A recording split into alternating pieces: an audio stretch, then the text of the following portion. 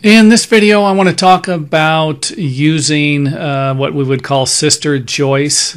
This would be taking your original ceiling joist, which would be this one here, the one that's nailed to this rafter, and this one, and then this one here that would be nailed to this rafter, and then adding a joist to each side. Now, this would actually require you to cut the uh, one of the joists that you're going to be lapping so that the next one will be able to butt up against it. And then of course you can lap over the next one here as you double it up. Now it all depends upon how your building is laid out but this would be the most common method if you had a lap if you were using lapped ceiling joists or ceiling joists that lap.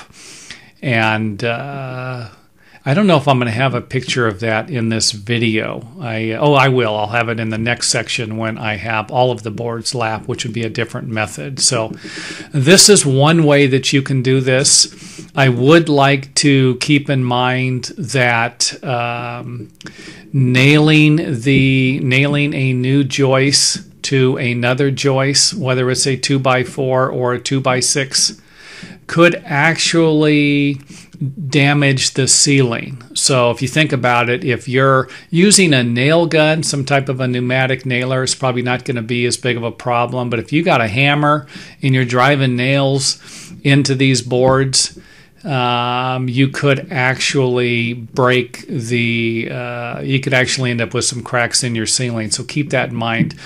Um, a method for attaching these that uh, most of the time is recommended by an engineer would be nailing nails 16 inches on center staggered. So that would be a 16 inches on the top, um, maybe an inch below. And then, um, see if I give you an example here. You would have one about an inch below, 16 inches away from that. You would go continue 16 inches and then you would go to the middle of the 16 inches and then go down about an inch from the bottom and then you would nail one here and one here and this would provide you with a staggered nailing mm-hmm. schedule. Another method would be to drill through the joists and bolt them together the uh, I don't really know what you would do if that would be 16 inches on center or 24 inches on center. I would imagine 24 inches on center would be fine for two by four or two by six, something like that.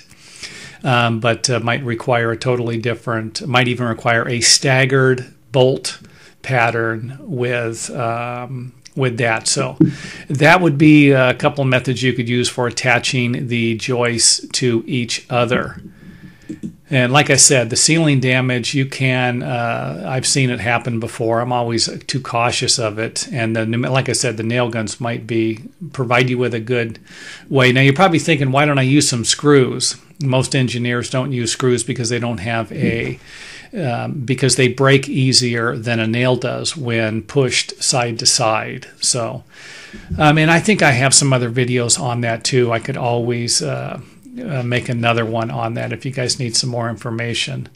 So, like I said, you would need to cut one of the joists because this one here would actually be running through in order to have this one, um, in order to be able to nail this one next to that one. So, and again, this put some thought into this. Don't just jump into it, and uh, you know, say, "Hey, I'm going to do this," and then you start doing it, and there's a problem. Try and figure it out. What's going to work and what isn't going to work. Um, what method here that I'm providing you with will work the best. And remember, again, I am not a structural engineer. I'm just providing you with examples um, I always advise contacting a structural engineer first before doing something like this because you are adding weight to your structure. The building probably wasn't designed for it. The building probably wasn't designed to, t- to turn your attic into a two story space. Just keep that in mind.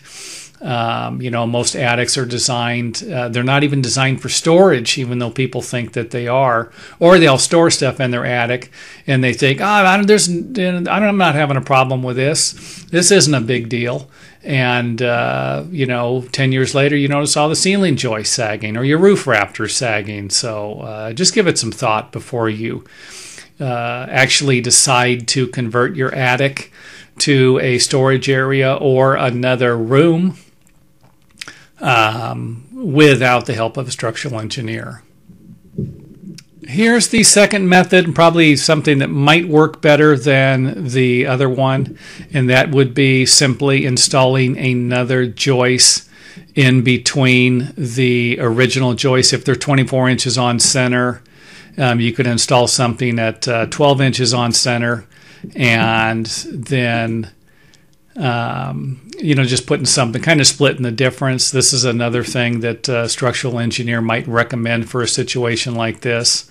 Now, remember your two by fours. If you have a two by four, this video would will work for conventionally framed homes with ceiling joists, not truss roofs. But um, if you have two by fours for your ceiling joists, they're probably not rated you know they might need to be two by six or two by eight you know for something like this. And that'll be in our last example give you another idea.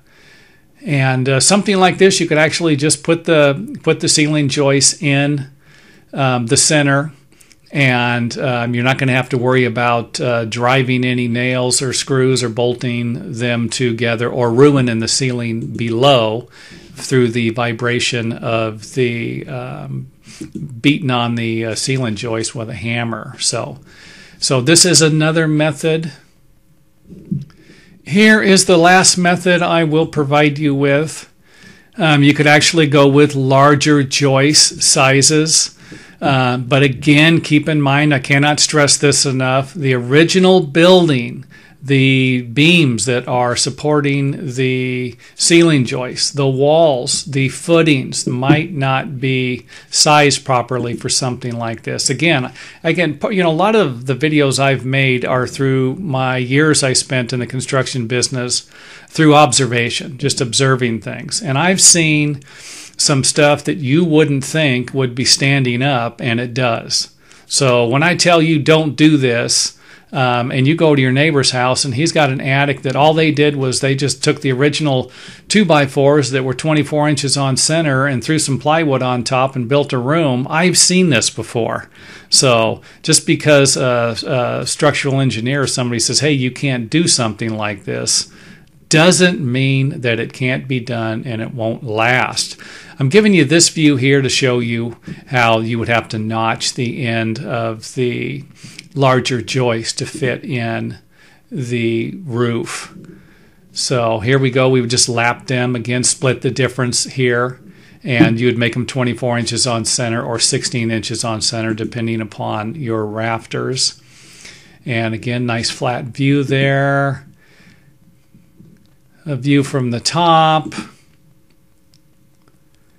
Another view, this one I wanted to show you how you would uh, simply just add another board. You might have to rip it down to size on the top here to uh, give you a edge, something to nail your floor sheathing to.